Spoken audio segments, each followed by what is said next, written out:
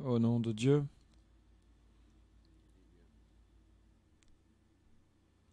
Je vous souhaite la bienvenue en Libye.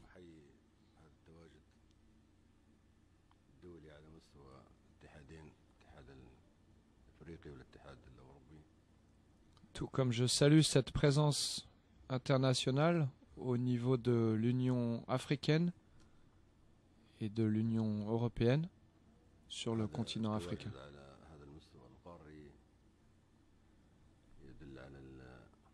Elle démontre, si besoin est,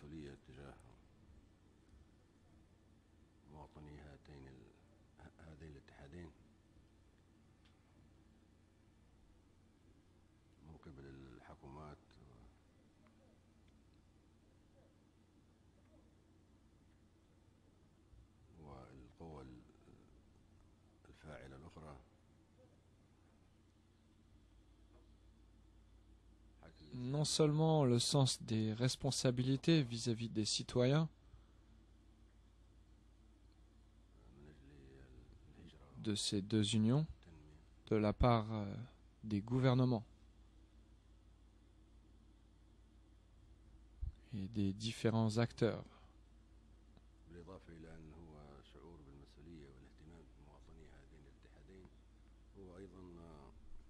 concernant le, thème de la migration et du développement, mais également une prise de conscience de l'ampleur de ce phénomène.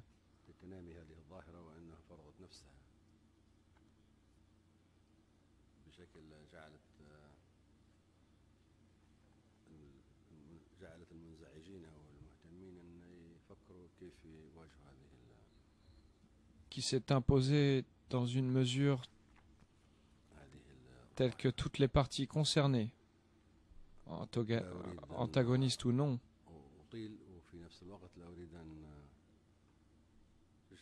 doivent y réfléchir ensemble en vue d'y remédier. Je ne voudrais pas être long, tout comme je ne souhaite pas répéter vos propos prononcés aujourd'hui, ni les réflexions faites concernant ce phénomène dans d'autres lieux.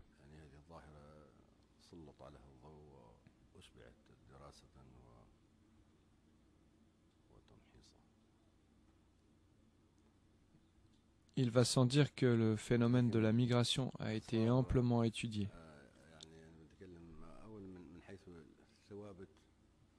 Pour ma part, je me contenterai de mettre l'accent sur quelques invariables liées à l'homme et à la nature.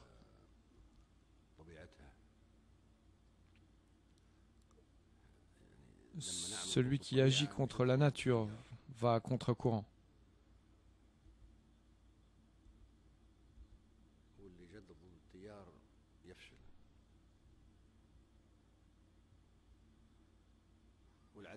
il finira un jour par essuyer un revers.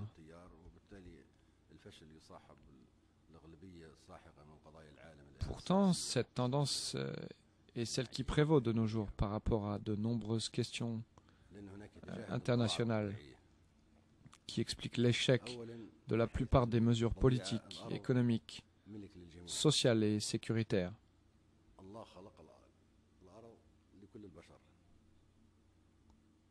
La nature fait que de la terre la propriété de tous.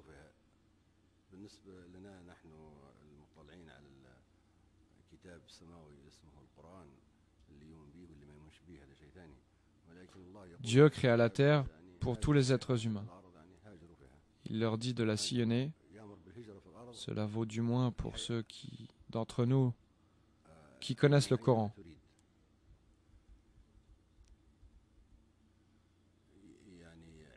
اعتراف بأن الأرض هذه لكل البشر من حقهم أنهم يتحركوا فيها لكي يعيشوا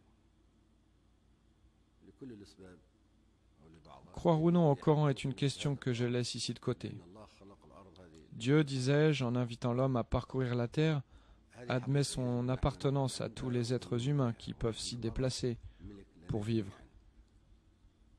ومن حق ال- Il impose البشر de réfléchir et d'accepter cette vérité, à savoir que la terre nous appartient tous, que de nos jours des frontières politiques existent, des visas, etc n'est autre qu'une simple innovation de l'homme, non de la nature.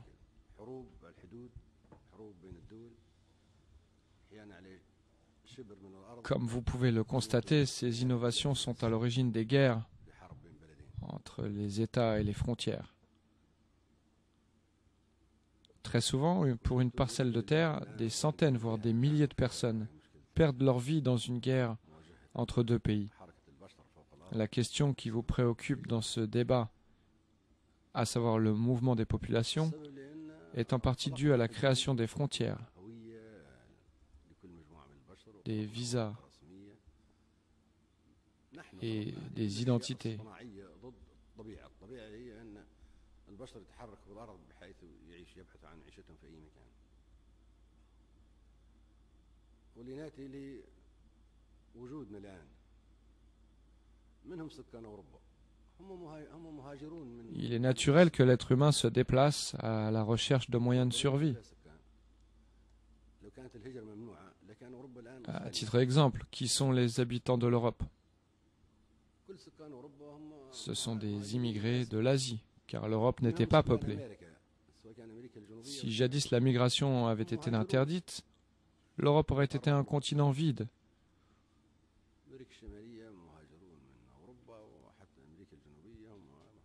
Tous les habitants de l'Europe sont venus de l'Asie. Ou encore, qui sont les habitants des Amériques?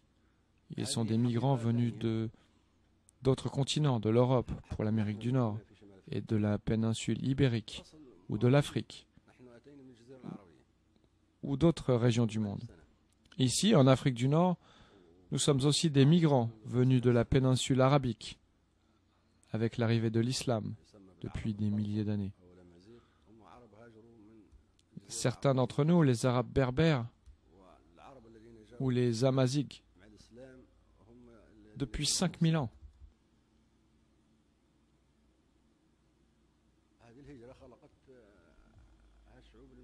في شمال أفريقيا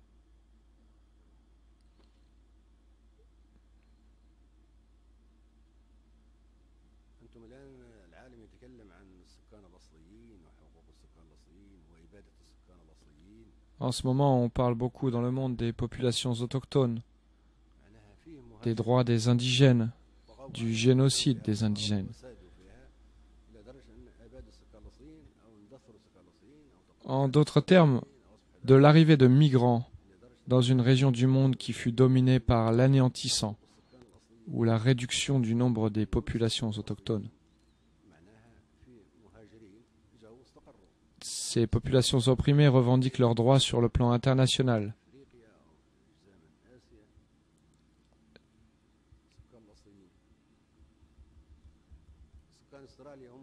Les indigènes de l'Australie sont peu nombreux. Ils ont été opprimés ou exterminés au même titre que les Indiens rouges.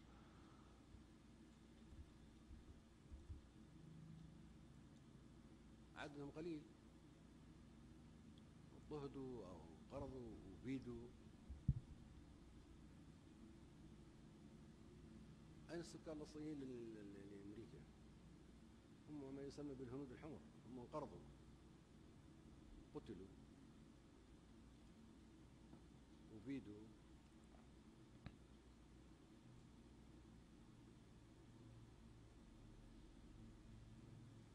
إذا كان نحن بن نلغي الهجرة نلغي Si l'on veut supprimer la migration,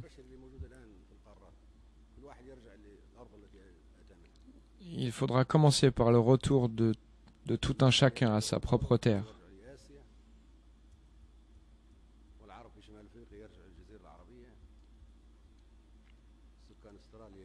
les Américains en Europe, les Européens en Asie,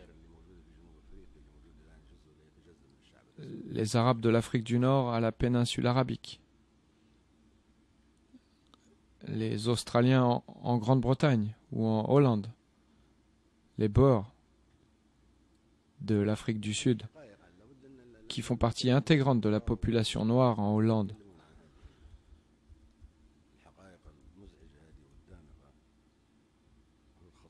Ces vérités probantes et dérangeantes à la fois ne sont jamais soulevées par les ministres et les experts.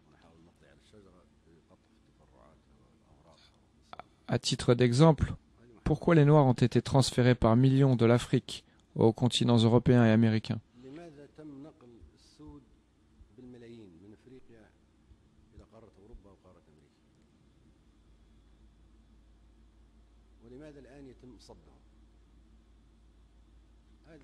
Pourquoi se sentent-ils rejetés de nos jours?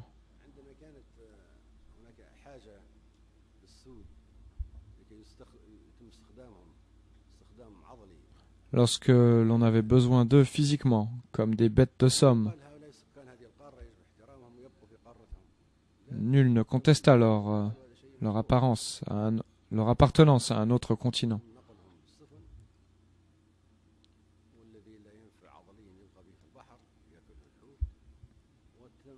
Bien au contraire, ils furent transportés en toute légitimité dans des bateaux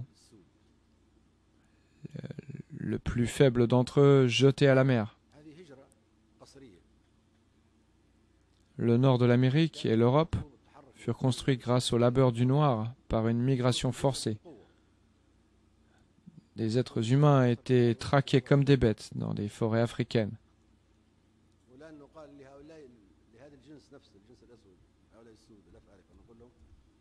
De nos jours, ces, ces mêmes Africains dérangent et sont appelés à cesser leur flux migratoire.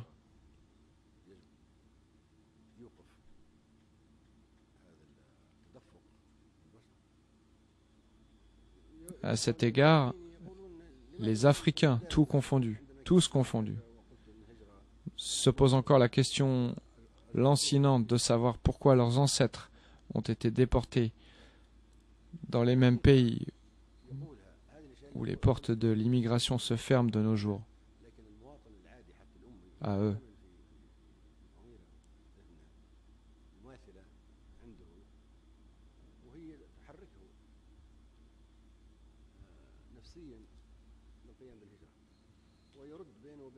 Sans la migration, le monde ne serait pas peuplé. Telle race a quitté telle race. Des indigènes disparurent. Des flux migratoires ont peuplé l'Australie,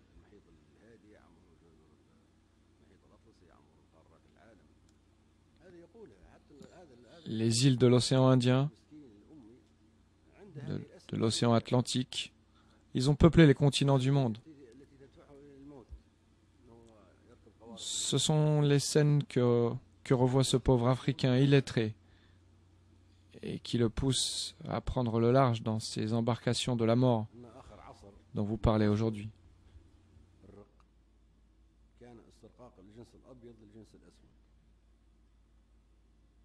وهذا العصر سيظل ماثلا في ذهن الانسان الاسود حتى يشعر بانه قد رد اعتباره Je voudrais ici mentionner une citation du livre vert qui traite dans un chapitre de la race noire. ان هذا الحدث Pour gagner du temps, il s'agit du chapitre 3 pour ceux qui veulent en prendre connaissance. Le dernier temps de l'esclavage fut celui de l'assujettissement du blanc au noir. Ce temps restera à jamais gravé dans la mémoire de l'homme noir tant qu'il n'aura pas été réhabilité.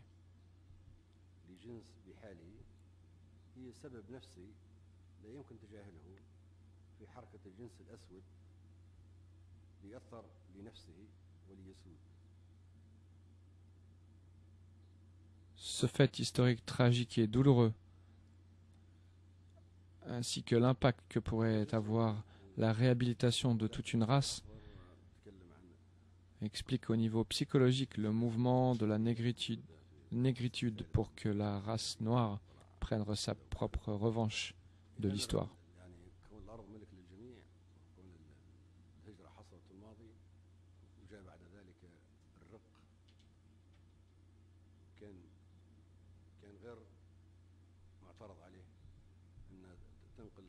Tous ces facteurs combinés, à savoir que l'acteur, que la terre est la propriété de tous, que la migration est un phénomène ancien, que l'esclavage et la déportation eurent, eurent lieu, suivis par l'ère du colonialisme, sont des facteurs psychologiques dans le subconscient du citoyen africain qui émigre de nos jours et qui provoque tout ce tollé.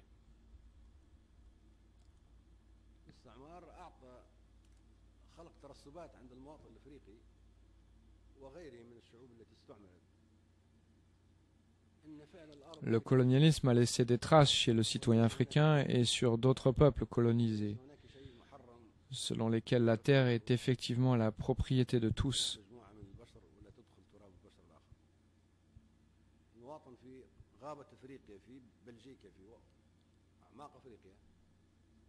qu'il n'existe pas de frontières. Celui au fin fond de l'Afrique qui vit les Belges venir s'installer sur sa terre, mettre la main sur ses biens. Le Congo entier était devenu la propriété du roi des Belges, Léopold.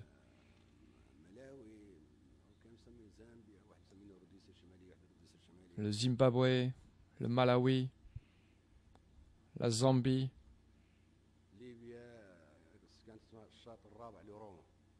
pour certains la Rhodésie du Nord et la Rhodésie du Sud.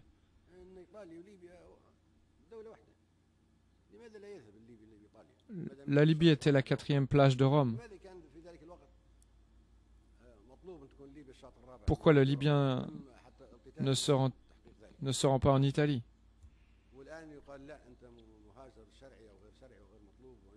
Pourquoi jadis la Libye pouvait être la quatrième plage de Rome? Des combats ont même eu lieu en vue d'atteindre cela. Et aujourd'hui, le Libyen est considéré comme un, immigré, légal ou non, étranger, rejeté. Une réalité valable seulement quand elle sert à l'intérêt de l'Europe.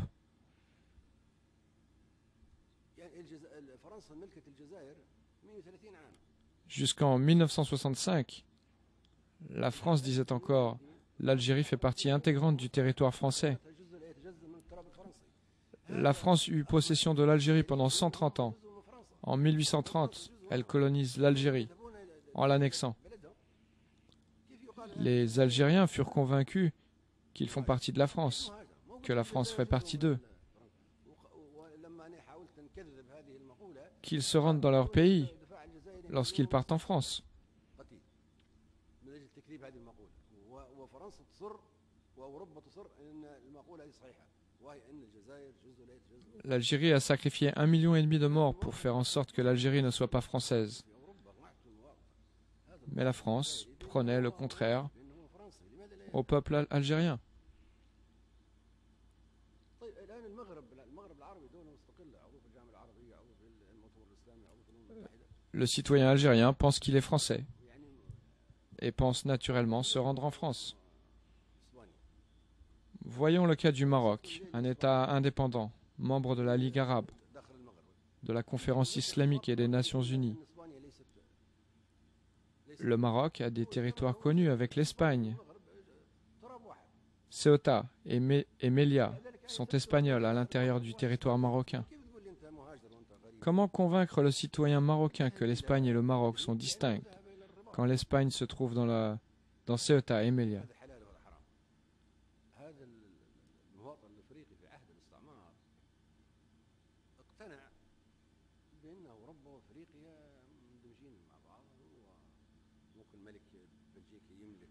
Tous les citoyens africains considèrent les pays ex-coloniaux une continuité naturelle de leur propre pays.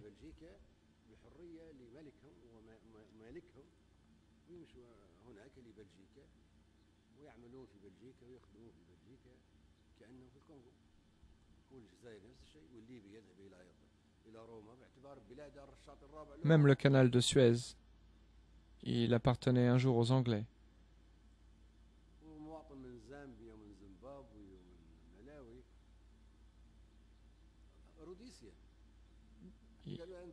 Il est parfaitement naturel que le citoyen égyptien se rende en Grande-Bretagne pour travailler ou résider, car la Grande-Bretagne possède un canal entier à l'intérieur de l'Égypte.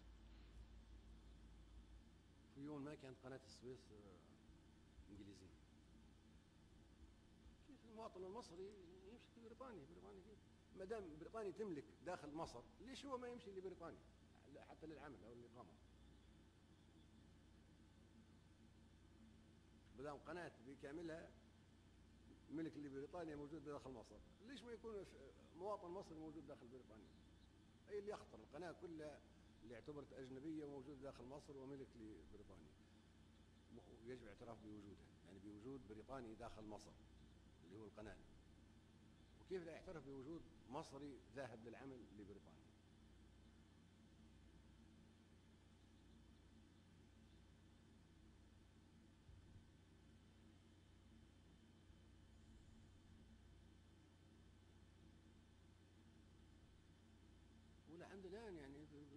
فيه مندوب ال- مندوب السامي للتاج البريطاني او اي تاج اخر في البلدان هذا الصحافه يقول يقول إذا الناس- Jusqu'à présent, واحد l'Inde fait partie du Commonwealth.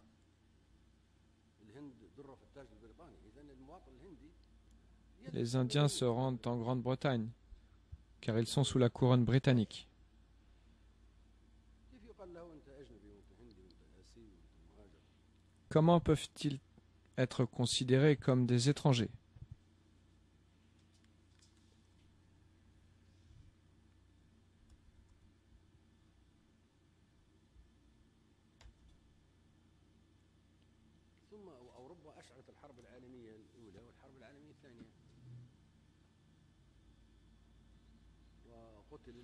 L'Europe déclencha la Première Guerre mondiale, puis la Deuxième.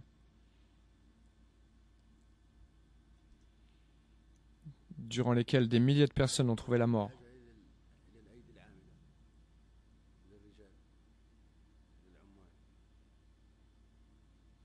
L'Europe avait besoin de main-d'œuvre. Elle encouragea à cette fin le flux des Asiatiques, des Africains vers l'Europe pour pallier ce manque de main-d'œuvre.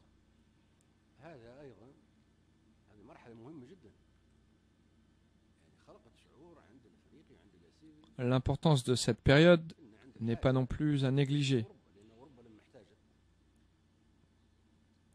car elle créa chez l'Africain et l'Asiatique, dans le besoin, le sentiment de pouvoir se rendre en Europe, puisque l'Europe non seulement a fait de même, mais en plus s'est servie des individus venant de ces continents comme esclaves ou combattants et durant la colonisation.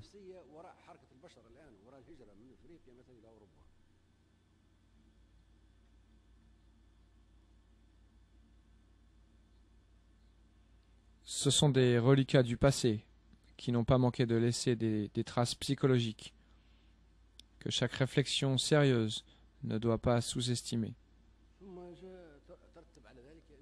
Ensuite, les richesses de l'Afrique ont été pillées. les minerais d'or, de diamants,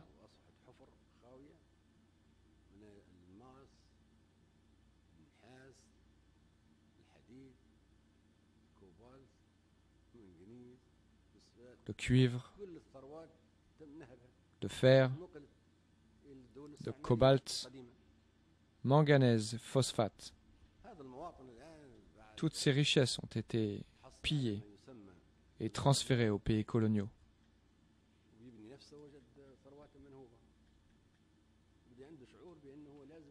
Ce citoyen, une fois son indépendance acquise, voulut construire son pays, mais ses ressources ont été pillées.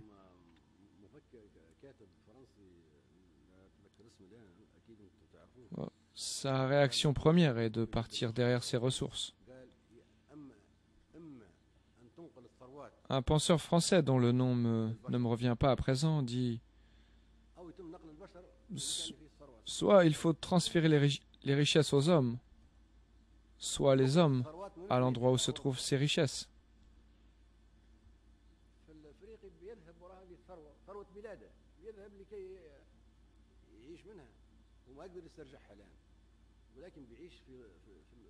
Il va travailler dans des usines construites sur les matières brutes de l'Afrique.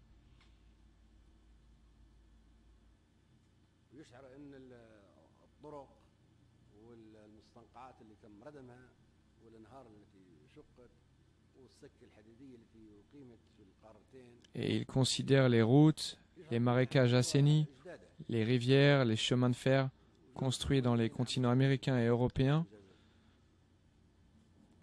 comme étant des œuvres construites يعيش بها هناك par ses ancêtres هل نستطيع الرد خامات افريقيا et qui lui reviennent d'obtenir une compensation وتردوها كويس qui lui permettra de vivre aujourd'hui.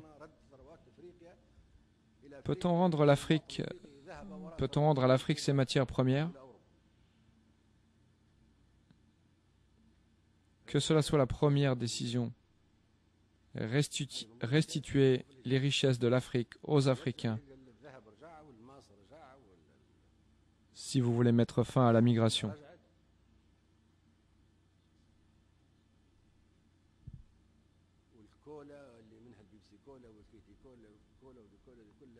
toutes les richesses minières, alimentaires et autres volées par les multinationales aux enfants africains qui meurent de faim.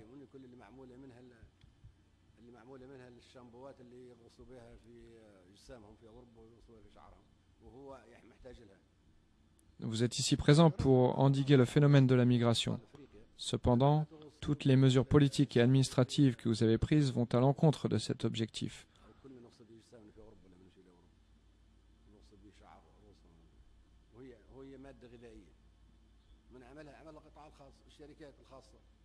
تبحث عن الربح ولو على تعاسة ال- الملايين.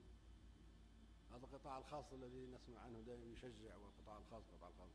هو هذا هو اللي هو حول سرق غذاء الأطفال وحول إلى شامبوات باش يحصل مقابلة أموال ويموتوا الأطفال من الجوع.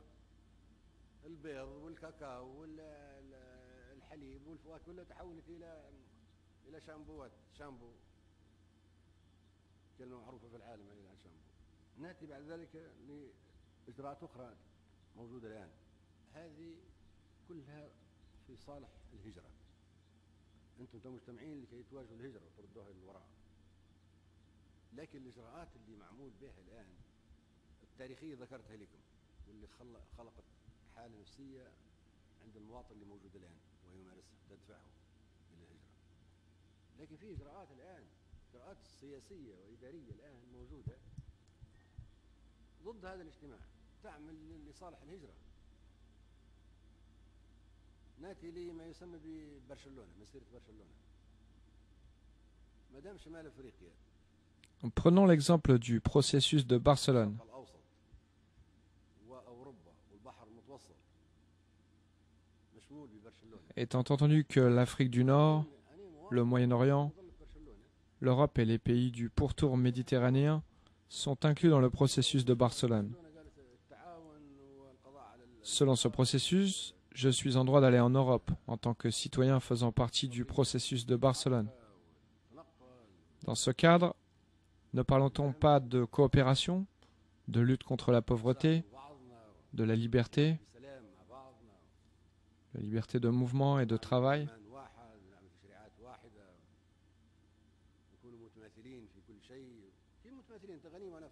de nous aider les uns les autres, de vivre en paix, d'avoir un seul Parlement, des législatures communes, d'être égaux dans le partage des richesses. Comment le processus de Barcelone encourage-t-il cette intégration et combat en même temps les résultats engendrés par Barcelone, dont cette réunion témoigne? هذا التصرف هذا حتى هذا الاجتماع ضد برشلونه هي برشلونه تعني الاندماج وان احنا il, نبقى f- لأوروبا. il faut commencer par supprimer le processus de Barcelone. الغوا برشلونه هي في هذه الحاله يقولوا L'Europe aux أوروبا Européens وبيننا et بحر l'Afrique aux Africains.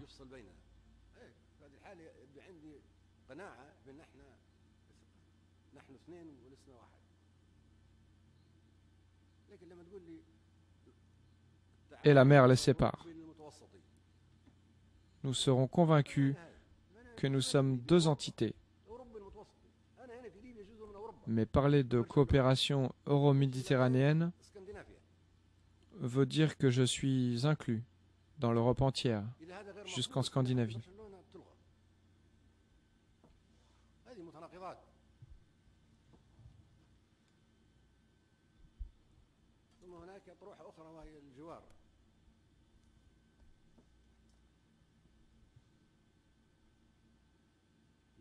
Une autre thèse, celle du voisinage, le nouveau voisinage avec l'Union européenne. Une idée extraordinaire comme celle du processus de Barcelone.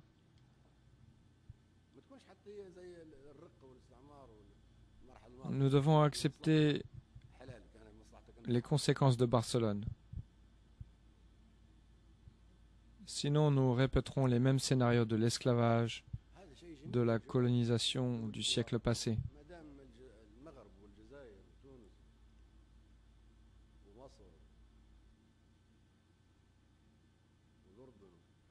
L'Algérie, le Maroc, la Tunisie, l'Égypte, la Jordanie sont tous voisins de l'Europe.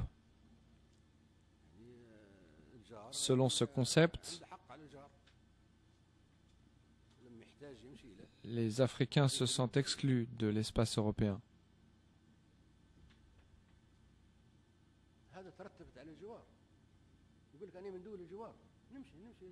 Ils se rendent dans les pays du voisinage pour aller en Europe.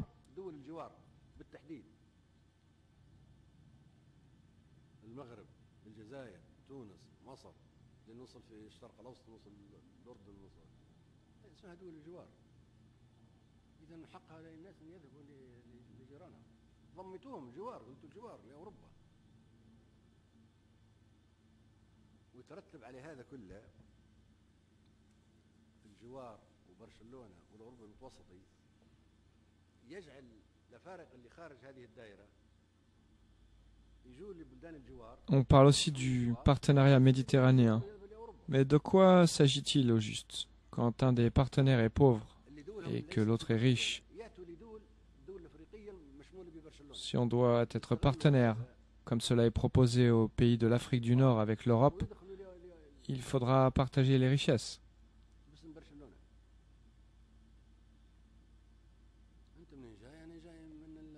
Cette idée de partenariat est excellente si elle ne sert pas les intérêts des uns au détriment des autres, ou si elle n'est pas utilisée pour servir des objectifs bien définis, ce qui ne manquera pas de saper les liens politiques.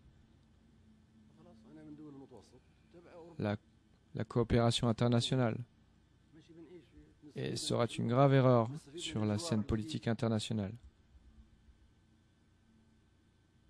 والشراكه حاجه اخرى اسمها الشراكه المتوسطيه بشيء من هذا القبيل شراكه خلاص معناها شركاء في كل شيء شركاء في ايش لما تقول لنا شراكه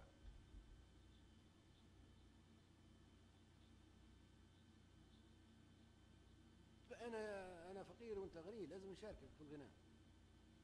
هذه الشراكة. ما معنى كلمة الشراكة اللي مطروحة الآن؟ على بلدان أفريقيا الشمالية مع أوروبا. بنشاركوكم وتشاركونا. خلاص كويس تشاركونا ونشاركوكم هذه هذه شعارات مش حد يعترض عليها جميلة جدا. لكن كونك إن هي محرمة على واحد ومحللة على واحد وإن هي صممت لكي تعمل لغرض معين. هذا هذا يعني يدمر السياسة التعاون الدولي. هذا غلط في السياسة الدولية. يقول لي شراكة وبعدين يقول لي لا ما تشاركنيش. أرجع من شو قلت لي شريك؟ القرارات التي تصدر من هنا إذا كانت بتصدر بجدية. تلغى الشراكة ويلغى الجوار وتلغى برشلونة وتلغى. وتعاد تعاد التأشيرة. من ضمن الأشياء اللي سهلت التأشيرة. اولا شنغن هذه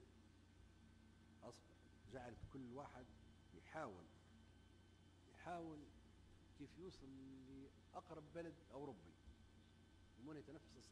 Parmi les développements qui ont facilité l'octroi du visa se trouve l'espace Schengen, qui a poussé tout un chacun à tenter d'entrer dans le pays européen le plus proche,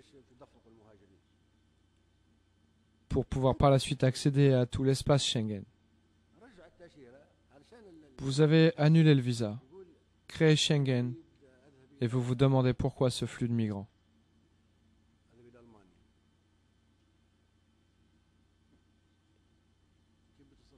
Vous avez ouvert les portes à l'immigration. Il vous faut rétablir le visa, car l'espace Schengen facilite le passage d'un pays européen à l'autre.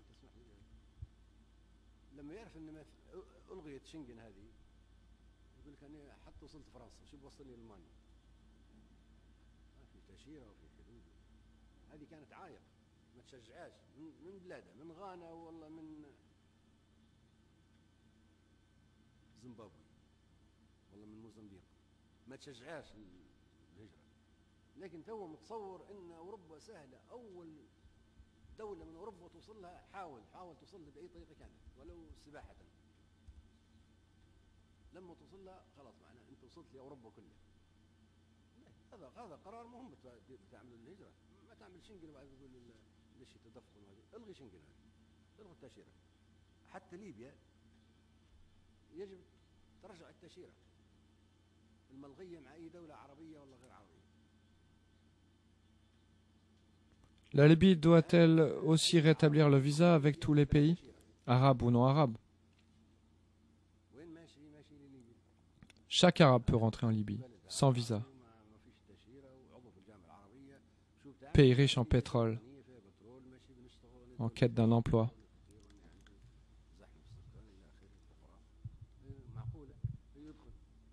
لكن هو ما هو جاي لليبيا من ليبيا يذهب إلى أوروبا ودير إحصائية 80% من اللي Et cela se comprend lorsque l'on est pauvre.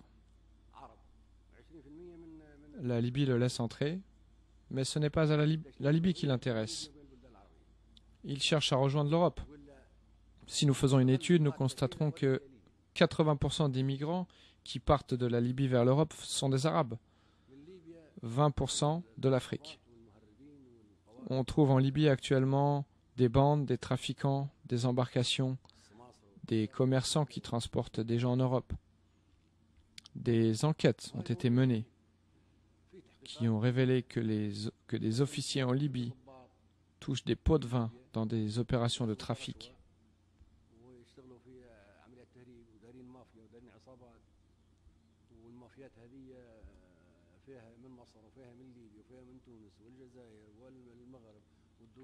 il existe des gangs, des mafias venant d'Égypte, de Libye, de Tunisie, d'Algérie et du Maroc, et d'autres pays africains et européens.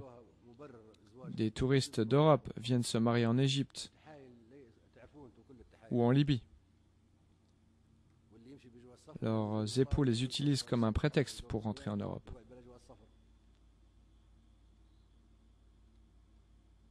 باش عاد تحلوا فيه وتقولوا هاي ندبروا له هذا الى جانب هذا Puis il y a ceux qui partent avec un passeport qu'ils déchirent aussitôt arrivés à l'aéroport, حق اللجوء le jettent aux toilettes آه، et se présentent devant vous sans papier. حقوق المهاجرين Vous êtes acculé. Vous devez lui trouver une solution. آه، ضد التمييز Puis il y a d'autres revendications telles que les droits de l'homme, le droit d'asile, le droit des réfugiés contre la discrimination, la discrimination, le droit à la liberté.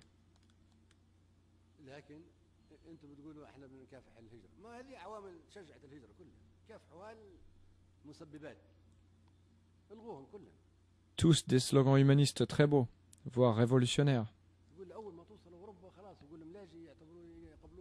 Cependant, vous dites vouloir lutter contre la migration, mais toutes ces revendications ont encouragé la migration. Pourquoi ne commencez-vous pas par lutter contre ces causes? Vous acceptez les gens comme des réfugiés et vous leur donnez un salaire. Vous encouragez de la sorte les gens à partir pour l'Europe.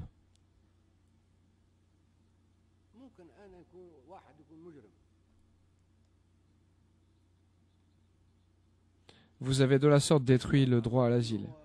Il existe cependant une définition claire du réfugié. En général, et du réfugié politique en particulier.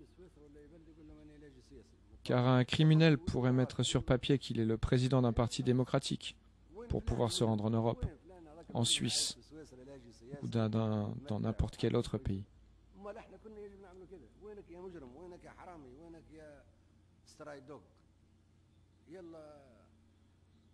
il pourra prétendre qu'il est réfugié politique, qu'il est opprimé dans son pays. Il est non seulement admis, mais il reçoit en plus un salaire. Et le criminel finit par vivre réfugié en Suisse, dans d'excellentes conditions. Beaucoup lui, lui emboîteront le pas. En proclamant la liberté et les droits de l'homme, vous avez encouragé n'importe quel kidam à à demander leur d'asile.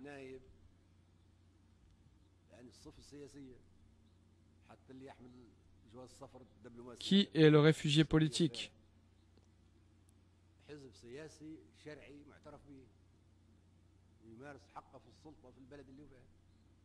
C'est celui qui exerce la politique. Un ministre, un président, un roi, un parlementaire. En d'autres termes, chaque individu qui occupe un poste politique et qui a un passeport diplomatique ou appartenant à un parti politique légitime reconnu, qui, est, qui dans le cours de l'exercice de son droit au pouvoir fut opprimé ou tué dans son pays pour des raisons politiques.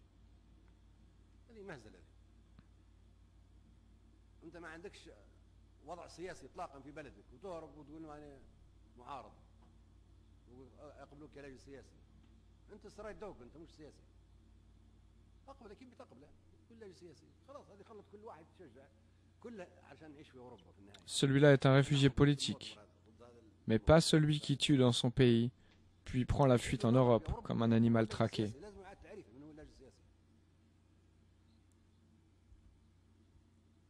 كل واحد يضحك عليكم تعتبروه لاجئ سياسي وابحثوا عليهم اللاجئين السياسيين اللي موجودين واللي تحولوا الى ارهابيين Il faudrait que l'Europe réexamine le concept de réfugié politique, parce que n'importe qui peut abuser de ce droit.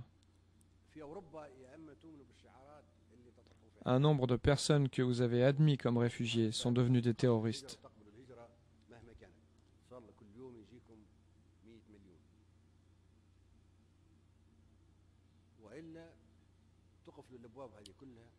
Deux options se posent à l'Europe soit de fermer ses portes et revoir sa politique, ou d'accepter de les ouvrir, même si elle reçoit 100 millions de réfugiés chaque jour.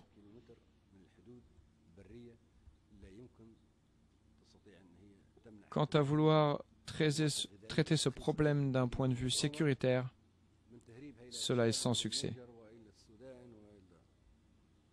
La Libye a des milliers de kilomètres de frontières. Elle ne peut empêcher le trafic qui se fait. Même des produits alimentaires bradés, subventionnés en Libye, vers le, en Libye vers le Tchad, le Niger, le Soudan ou tout autre pays voisin. Nous ne pouvons pas surveiller toutes les frontières. Même l'OTAN ne pourra pas le faire.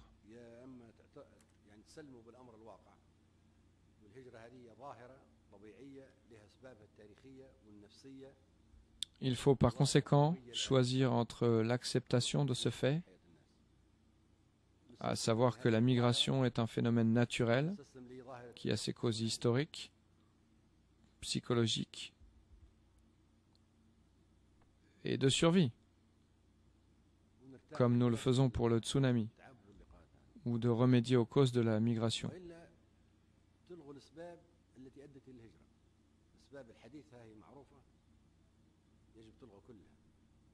من التاشيره الى برشلونه الى الاوروبي المتوسطي الى الجوار الى الشراكه الى ال- حقوق الانسان مش عارف ما هذه قبول اللجوء السياسي بالطريقه هذه واللاجئ السياسي والمهاجرين وحقوقهم وحقوق اللاجئين وما اليه هذه كلها يعاد فيها النظر Mais tant que d'un côté se trouve un animal affamé et de l'autre côté le fourrage exposé devant ses yeux, ليش l'animal se jettera sur le fourrage.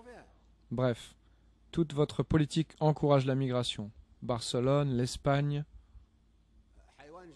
euro-méditerranéen, la colonisation, le pillage, le voisinage, les visas, les droits de l'homme.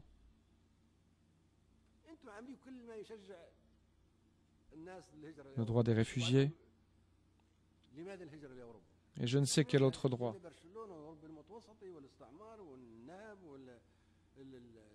والجوار وال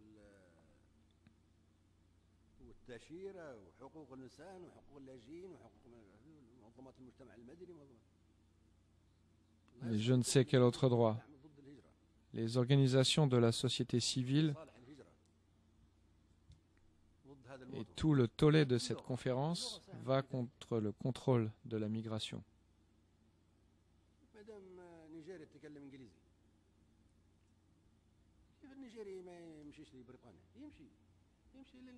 La langue est un facteur non négligeable dans ce phénomène. Le Nigeria étant un pays anglophone, le Nigérian ira, ira en Grande-Bretagne, car on a fait de lui une partie de la Grande-Bretagne. Le même cas s'applique au Ghana. On a fait des gens une partie du peuple britannique, la même langue, la même culture, colonisé, opprimé, tu lui as enseigné ta langue, tu as fait de lui ton vassal et tu n'as jamais pensé qu'un jour, il exploitera ce fait. Il en va de même pour les pays francophones. Vous n'êtes pas sans ignorer toutes ces réalités. Mais vous, vous refusez à les admettre.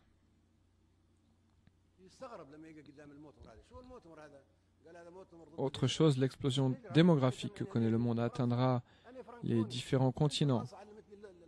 Ces vagues humaines se dirigeront vers les parties du monde où il y a un vide démographique.